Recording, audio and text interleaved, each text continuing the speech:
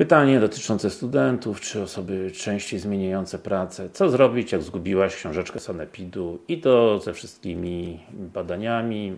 Witam, czy wie Pan, jakie są koszty w przypadku, gdy zagubiłem swoją książeczkę zdrowia wraz z wynikami badań. W Sanepidzie dali mi wtedy wyniki badania kału na takich karteczkach, ja włożyłem sobie je do książeczki, no i jak zagubione, to wszystko było w tej zagubionej książeczce.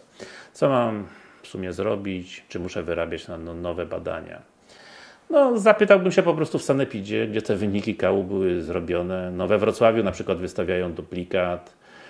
Wtedy koszt zamiast prawie 100 zł jest tylko około 20 zł, czyli jest relatywnie mniejszy.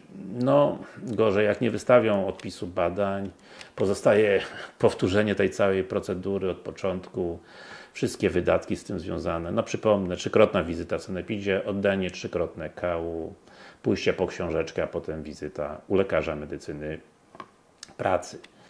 No, natomiast jeżeli masz jakiś inny sposób, jak wybrnąć z zagubienia książeczki zdrowia, zapraszam Cię oczywiście tutaj do komentarza poniżej tego wideo.